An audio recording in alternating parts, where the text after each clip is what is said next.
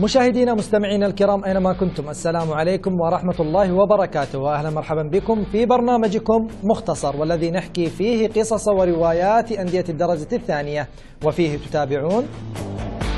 لا أسماك كبيرة في مباريات الجولة الثانية.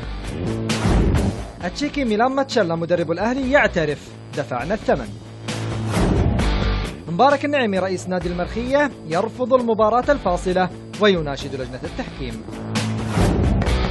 لأول مرة نجوم الظل يقفون في الضوء أمام الكاميرات.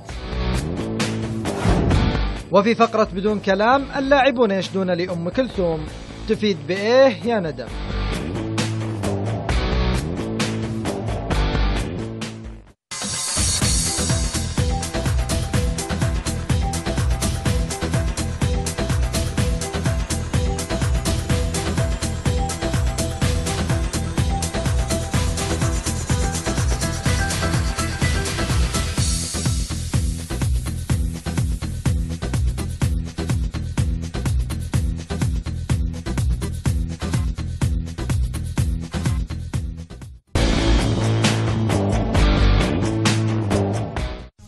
اقترب نادي الشمال من التعاقد مع محمد سالم لاعب السيرية وقطر والخور سابقا وذلك في إطار محاولاته لتدعيم صفوفه المستمرة بهدف الظهور بمستويات أفضل في دور الدرجة الثانية. ويعتبر محمد سالم إضافة قوية للشمال حيث يمتلك اللاعب مهارات فنية جيدة إضافة إلى خبرته السابقة مع الأندية التي لعب لها. ينتظر أن يعود ثنائي دفاع فريق معاذر المكون من هيثم الأمين وأنور بابكر لتشكيلة المدرب المغربي محمد ساهل في الأسبوع المقبل أمام الشمال بعد أن غابا عنه في الجولتين الماضيتين أمام المرخية والشحانية وستكون عودتهما إضافة قوية لدفاعات الفريق الذي لم يتذوق طعم الفوز حتى الآن في الدوري. اضطر نادي الشحنية إلى شطب محترفه الإيفواري كاراموكو بداعي الإصابة التي تعرض لها قبل مباراته مع معاذر هذا الأسبوع. وقام بتسجيل البرازيلي جويل بدلا منها الذي ظهر للمرة الأولى هذا الموسم بقميص الشحانية أمام معاذر في المباراة التي انتهت بالتعادل الإيجابي بهدف لمثله. تجرى مفاوضات من قبل نادي المرخية مع الحارس طلال سالم لاعب السد والجيش سابقا للتعاقد بهدف تدعيم حراسة مرمى الفريق. رغم امتلاك المرخية لحارسين هما عبد الرحمن محمد وخليل محمد. إلى أن الجهاز الإداري يأمل في التواصل مع الحارس الجديد لاتفاق بالانضمام للفريق تحسبا لأي ظروف طارئة في الفترة المقبلة.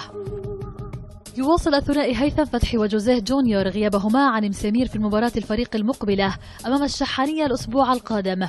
وستكون المباراة الثانية على التوالي التي يغيب فيها هذا الثنائي الهام عن الفريق هذا الموسم حيث لم يشارك في لقاء هذا الأسبوع أمام الأهلي والذي انتهى بالتعادل بهدف لكل فريق.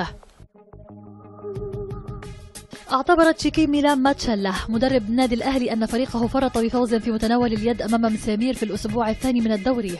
وقال عقب المباراة لقد دفعنا ثمن إهدار الفرص السهلة أمام مرمى مسامير بالتعادل في الدقائق الأخيرة. وأضاف كان بالإمكان أفضل مما كان. ولكن هذه المباراة والنتيجة التي آلت إليها في النهاية تعد درسا قاسيا علينا. الاستفادة والتعلم منه للمستقبل حتى لا نقع في نفس الأخطاء.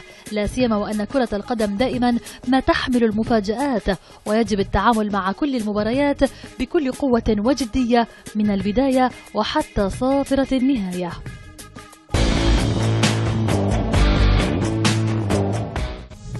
كشفت الجولة الثانية من مباريات دور الدرجة الثانية الليغا 2 الحقيقة الأولى من ظواهر دور الفرق الست لا توجد أسماك كبيرة في مياه الليغا 2 فهي مفتوحة للأسماك الصغيرة فقط لكي تلعب في أمان. الجولة الثانية من دور الدرجة الثانية لم تشهد نتائج كبيرة أو أهداف غزيرة بل انخفض مستوى التهديف فيها وبلغ ستة أهداف بعد أن كان سبعة أهداف في الجولة السابقة وانتهت المباريات الثلاث بتعادلين وفوز واحد. في المباراة الأولى بين المرخية وشمال حاول الأول أن ينصب فخا للثاني وبدأ وكأنه تحول إلى سمكة كبيرة تهاجم وتنقض وتنوي الافتراس إلا أن الساحرة المستديرة هي التي نصبت له فخا من الهواء مرة والعارضة مرة أخرى. وتسبب تسرع لاعبيه أمام مرمى الشمال بالوقوع في الفخ فعجز عن استغلال الفرص العديدة التي لاحت له طيلة المباراة. أما الشمال فلعب بواقعية تستند إلى إمكانيات لاعبيه وعرف منذ البداية أن الدفاع الحذر خير وأبقى من الاندفاع إلى الهجوم. وكان يدرك منذ البداية أيضا أن اللعب في الدرجة الثانية كالسباحة في المياه الضحلة. فأهداه الهواء الهدف الأول عبر لاعبه جمال جوهر في الدقيقة الحادية والثلاثين. وكافأته الساحرة المستديرة مرة أخرى على نظرية المرتدات فأطلق مهاجمه علي فريدون رصاصة الرحمة على المرخية بإحراز الهدف الثاني للشمال في الدقيقة الثمانين. معلنا فوز فريقه بهدفين دون مقابل لينتهي اللقاء بدرس للجميع. موعد الأسماك الكبيرة لم يأتي بعد وعلى المتضرر اللجوء للدفاع والحذر وهو ما فعله فريق الشمال بكفاءة. الحمد لله على الفوز. طبعا كنا ماسكين اللعب طبعا 90 دقيقة الحمد لله. ال- التعب اللي بالملعب بالنتيجة الحمد لله 2-0 بداية يعني ما نقول بداية إحنا خسرنا من الأهلي وثلاث نقاط ممتازة قدام المرخية وإن شاء الله لقدام إن شاء الله ننافس على البطولة إن شاء الله. طبعا آه، نتيجة طبعا آه، نتيجة طبعا كل الناس زعلانة. هزيمة هزي- خسرنا 3 بونت. وقبل كده الماتش الشحنية برضو خسرنا 2 بونت. ماتشين ورا بعض. النهارده الأداء أحسن من ماتش الشحنية بس ضيعنا أهداف كتير قوي والأهداف ضيعنا دخل فينا فنقول الحمد لله وخلاص ماتش واتغلبنا ونركز في المباراة اللي جاية إن شاء الله. عندنا مباراة صعبة جدا مع النادي الأهلي. آه، بس طبعا آه، الواحد زعلان جدا على الأهداف اللي ضاعت مننا ضيعت مننا 3 بونت يعني النتيجة لو تشوف آه، الشوط الأولاني حوالي خمس أهداف لكن الحمد لله على كل شيء. إن شاء الله نركز في مباراة الأهلي إن شاء الله وربنا يكرمنا إن شاء الله ونعمل نتيجة إيجابية مع النادي الأهلي إن شاء الله. في اللقاء الثاني بذات الجولة تعادل معذر مع الشحانية بهدف لكل منهما على ملعب السيلية ليرفع كل فريق رصيده إلى نقطتين. وجاءت المباراة متكافئة حيث تبادل الفريقان السيطرة على مجريات اللعب وقدم مستوى جيد نسبيا وتشابهت طريقة وأسلوع اللعب إلى حد بعيد.